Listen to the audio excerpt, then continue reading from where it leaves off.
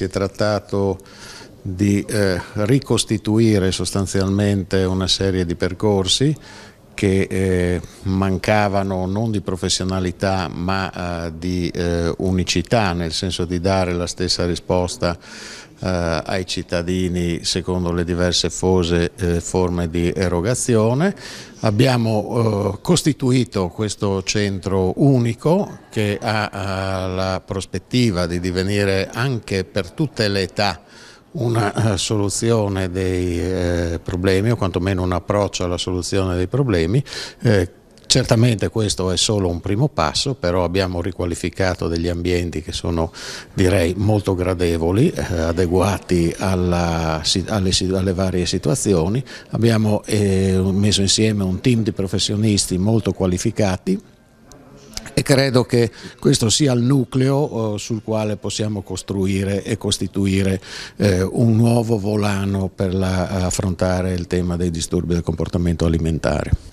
Ma è, allora, è, è, assolutamente importante, è un'emergenza che eh, c'è da svariati anni e, ed è importante che quest'anno la, con l'azienda si sia creato questo centro, questo centro per i disturbi alimentari che ha coagulato le forze già esistenti ma che ha, um, in questo momento ha una sede, una, una logistica e degli operatori molto uh, competenti, formati, motivati e questo è l'aspetto importante importante eh, in collaborazione con, eh, quindi sono psichiatri in collaborazione con internisti e nutrizionisti. E, è l'unico modo riconosciuto per intervenire sui disturbi dell'alimentazione e quindi siamo molto felici di poter essere qui eh, nel 2018 a testimoniare questo. Allora, il nostro centro si articolerà in attività ambulatoriali e in attività di centro diurno, che significa che è una struttura dedicata all'assistenza fisica al pasto di utenti in un regime di semi-intensività.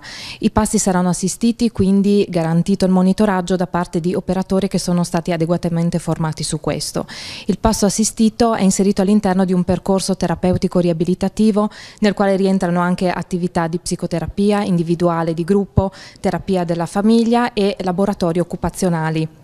che sono dei momenti molto importanti di aggregazione per le pazienti affette da disturbo alimentare eh, dove uno dei tratti caratteristici come conseguenza della malattia è appunto l'isolamento. In più l'attività ambulatoriale del centro diurno si integra anche con delle attività più complesse con presenza fisica della nostra equip nei reparti di degenza ospedaliera dove vengono ricoverate le pazienti per il momento adulte ma il nostro obiettivo anche pediatriche che hanno necessità di un'assistenza molto molto intensiva per stabilizzare la situazione organica.